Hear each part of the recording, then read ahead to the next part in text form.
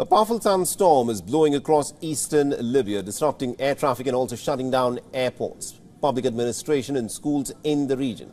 The Libyan media has reported that traffic at airports in Benghazi and Tobruk has been suspended until further notice.